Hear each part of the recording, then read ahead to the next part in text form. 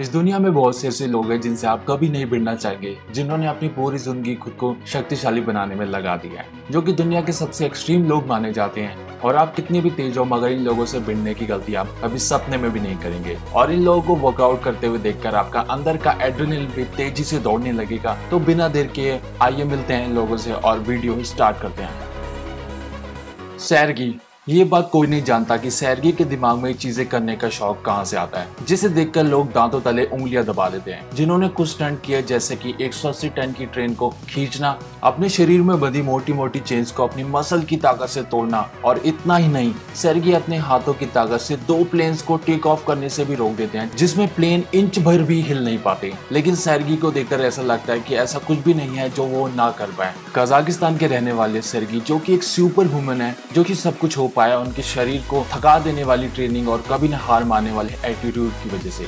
जिनके नाम इस वक्त चार वर्ल्ड रिकॉर्ड हैं, जो कि सैरगी मानते हैं, उन्होंने इतफाक से ही बना दिए थे। जो कि सुनने में एक मज़ाक जैसा लग सकता है, क्योंकि बहुत से एथलीट इन रिकॉर्ड को बनाने में अपनी पूरी ज़िंदगी लगा देते हैं। Meena Raghavan Indian martial art Kalaripayattu जो कि दुनिया की सबसे पुरानी मार्शल आर्ट है, जो कि माना जाता है 1300 से 2300 साल पुरानी है, जिसे भगवान परशुराम द्वारा शुरू किया गया था। 78 साल की मीना राघवन, जो कि एक मार्शल आर्टिस्ट हैं और एक गुरु हैं जो कि अपने स्कूल में बच्चों को कलरी पयटू सिखाती हैं। मीना ने 20 साल की उम्र में इस ट्रेनिंग को लेना स्टार्ट कर दिया था, लेकिन दूसरे लोगों से बिल्कुल ही उलट, जो अपने रिटायरमेंट के दिनों में आराम करना पसंद करते हैं। मीना ने अपना स्कूल खोलकर बच्चों को शिक्षा देना स्टार्ट कर दिया, जहाँ देश विदेश से बहुत से स्टूडेंट आते हैं, जो की उनसे वहाँ कलेरू पेटू सीखते हैं और जिन्हें वहाँ उनके शिष्य दादी कहकर बुलाते हैं। लेकिन इस शिक्षा के बदले मीना उनसे कोई पैसा नहीं लेती और ट्रेनिंग कंप्लीट होने के बाद शिष्य अपनी मर्ज़ी के अनुसार उन्हें गुरु दक्षिणा देते हैं, जिससे वे आगे बच्चों को शिक्षा दे सके वीटो पीरा बाजारी Give me the order of this countdown!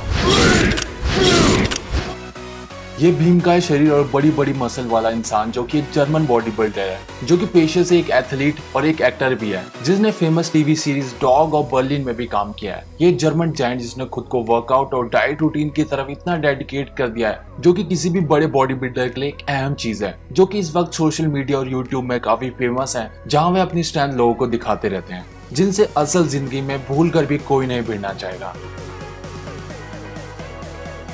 इवेंजी loss किसी भी अच्छे फिजिक वाले इंसान को देख के आपके मन में हमेशा आता है कि मेरा सामना कभी भी इस इंसान से ना हो, और ऐसा ही कुछ एवेंजी को देखकर भी लोगों के मन में आता है। जो कि किसी हथौड़े को गोली की स्पीड से घुमा देते हैं, लेकिन खुशकिस्मती से इंसान किसी को नुकसान पहुँचाने की बजाय लोगों की जान बचाता है। एवेंजी असल में एक बेलारूस में एक फायर फाइटर है, जिन्होंने खुद को फिट बनाने के लिए वर्कआउट के एक अलग लेवल तक पहुँच चुके हैं, जिन्हें इस दुनिया में अभी तक कोई टक्कर नहीं दे पाया। एवेंजी के नाम इस वक्त एक मिनट में रॉड पर सबसे ज़्यादा पुशअप करने का रिकॉर्ड है, जिन्होंने पिछला 40 पुशअप का रिकॉर्ड तोड़कर एक मिनट में तिरपन रॉड पुशअप करके रिकॉर्ड बना डाला था, जो कि अक्सर पार्क में कैलेस्थेटिक वर्कआउट करना पसंद करते हैं, जो कि फ्यूचर में और बहुत से रिकॉर्ड तोड़ने की तैयारी में लगे हुए हैं, जिनसे आप कभी भी रियल लाइफ में नहीं भिड़ना चाहेंगे। मिंडी कैली। मिंडी ने उन लोगों के मुँह पर एक चांटा मारा है, जो कि सोचते हैं लड़कियाँ बहुत कमज़ोर होती है। मिंडी एक मार्शल आर्ट चैंपियन है, जिन्होंने चार साल की उम्र में ट्रेनिंग लेना स्टार्ट कर दिया था, जिनके नाम इस वक्त दर्जन से भी ज़्यादा टाइटल हैं, जो कि सब कुछ मुमकिन हो पाया है, उनके कभी ना हार मानने वाले एटीट्यूड की वजह से। जो कि अपनी सफलता के लिए अपने कभी ना रुकने वाले एटीट्यूड को मानती हैं, जो कि आगे चलकर एक्शन मूवीज़ में काम करना चाहती हैं, जो कि बचपन से ब्रूसली और सिल्वेस्टर स्टेलोन से काफ़ी प्रभावित थी, जो कि 2005 में हॉलीवुड शिफ्ट हो गई, जहाँ उन्होंने बहुत से सेलिब्रिटीज के साथ काम किया और उनके लिए एक्शन सीन भी डिज़ाइन किया जिनसे आप असल लाइफ में कभी भिड़ना नहीं चाहेंगे।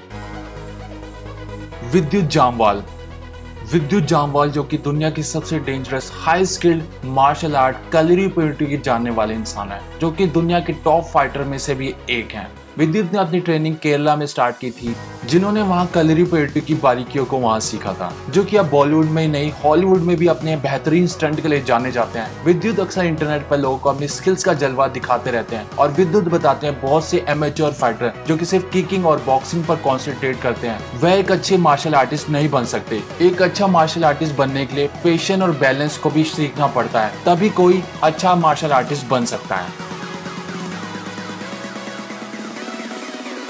JD Anderson.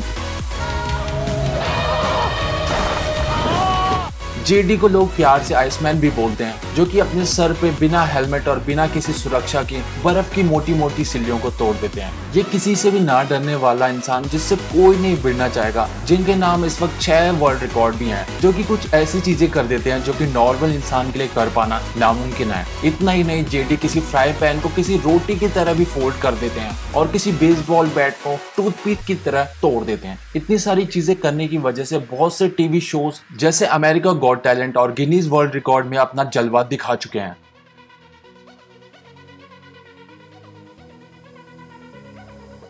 तो मुझे पूरी उम्मीद है वीडियो आपको पसंद आया हो। अगर पसंद आया हो तो वीडियो को लाइक करें कमेंट करें शेयर करें और चैनल को सब्सक्राइब करना ना भूलें।